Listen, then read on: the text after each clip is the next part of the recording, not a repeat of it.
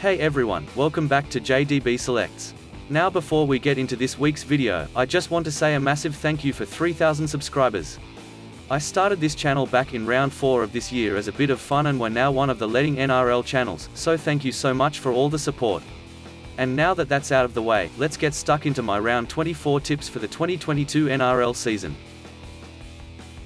Going over last week's results, we managed to tip 7 out of 8 games, the Rabbitohs looked good and came back in the second half but couldn't ice it against the defending premiers, and for all the people in the comments who like to accuse me of cheating and changing my tips, any changes I make are pinned in the comments section of the video before the round starts. As always, we go again this week. Round 24 kicks off on Thursday night as the 8th placed Brisbane Broncos host the 5th placed Parramatta Eels at Suncorp Stadium, Brisbane. The Broncos were completely embarrassed in front of their home fans last week by the Melbourne Storm, who piled on 60 points and scored 10 tries to Brisbane's 2. The Eels exacted their revenge on the Bulldogs with a 42-6 point victory. Parramatta's attack was boosted by the return of Mitchell Moses, who had a blinder alongside halves partner Dylan Brown. The Eels piled on the points against Canterbury which was a much-needed boost to their for and against. The Broncos have only won one of the past six against Parramatta and have been beaten at home in their last two meetings. I've really struggled to tip the Thursday night games this season and I feel this one could let me down again, but I'm going to take the Eels 1-12. I feel they've shown more in recent weeks and the Broncos defense seems to have slipped back into its old ways.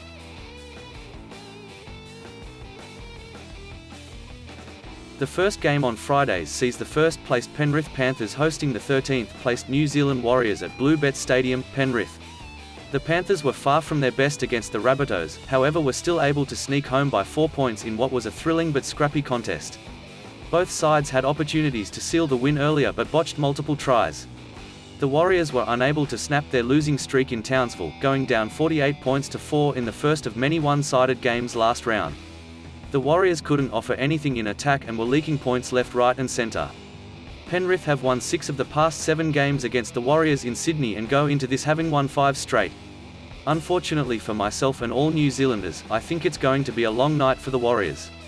Penrith have shown their depth in recent weeks while the Warriors have showed very little in attack so I'm going to tip the Panthers 13+. plus.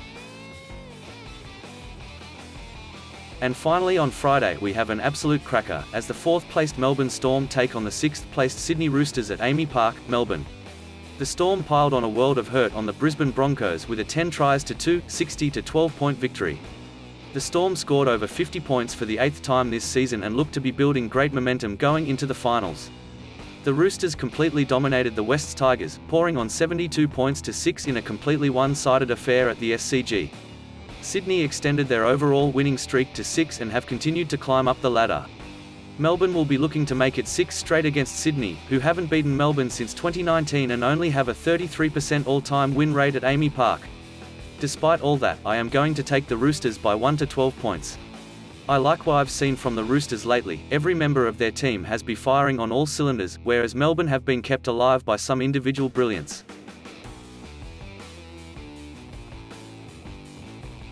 Super Saturday gets underway with the 9th placed Canberra Raiders hosting the 11th placed Manly Sea Eagles at GIO Stadium, Canberra. The Raiders staged a second half resurgence against Newcastle to claw back a 14-point halftime deficit. Canberra kept the home side scoreless, while piling on 20 unanswered points to keep their top 8 hopes alive with a 28-22 point win. The Sea Eagles slumped to their fifth straight loss and have continued to look disjointed and divided. Manly could only manage one try to Cronulla's seven and despite losing more key players to injury, looked to have completely switched off. Canberra have only won 7 of the past 28 game against Manly, have lost 7 of the last 9 games in Canberra. Normally I would be tipping Manly based on the club's history but unfortunately Manly have lost too many key players and have mentally been defeated and divided since the Pride jersey scandal so I'm going to take the Raiders by 1 to 12 points. The second game on Saturday has the third-placed Cronulla Sharks looking to make it five straight against the 12th-placed Canterbury Bulldogs at PointsBet Stadium, Sydney. The Sharks embarrassed the Sea Eagles at home last week, laying on seven tries to one in a 40-6 point thrashing. Cronulla dominated the game from the opening minute and further cemented their place in the top four for 2022. The Bulldogs suffered their third consecutive loss, this time at the hands of Parramatta. The Dogs were also the victims of another large scoreline, as the Eels went on to win 42 points to 6. The Dogs haven't won at PointsBet Stadium since 2011 and look to be up against it again this week. Cronulla has continued to impress this season and will be welcoming the potential return of Siosifa Talakai this week. Cronulla should get the win and by 13 points or more. And the final game on Super Saturday is another great game with the 7th placed South Sydney Rabbitohs taking on the 2nd placed North Queensland Cowboys at Accor Stadium, Sydney. The Rabbitohs couldn't get the grand final revenge they so desperately wanted against Penrith last week, despite giving them a good run for their money. Both sides were guilty of unforced errors that could have changed the game's outcome. The Cowboys continued their outstanding season with a 48-4 point victory over the Warriors. North Queensland enjoyed 57% of possession and despite having more errors than the Kiwis, were far too strong at home. This will be the first time these two sides have met at Accor Stadium since 2015. South Sydney have won six straight against North Queensland with three of their wins coming by just one point. This is another make or break game for this round, however I am going to take the Rabbitohs by 1 to 12 points. I think North Queensland have had an easier draw than most sides and have struggled against top 8 sides in New South Wales, losing to both the Roosters and Panthers. The Sunday action gets underway with the last-placed Wests Tigers hosting the 10th-placed St George Illawarra Dragons at CommBank Stadium, Sydney.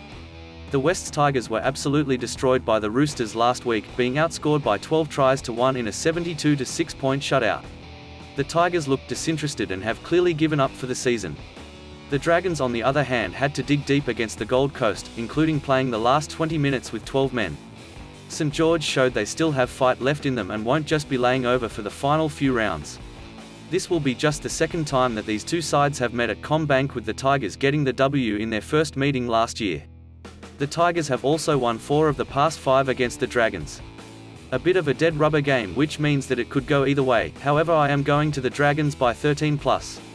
I think they showed great effort last week while the Tigers showed very little. And the final game of round 24 has the 15th placed Gold Coast Titans taking on the 14th placed Newcastle Knights at Cbus Super Stadium on the Gold Coast. The Titans were unable to get past the Dragons with a one-man advantage for a quarter of the game. The Titans were competitive for 50-odd minutes before being blown away late in the contest.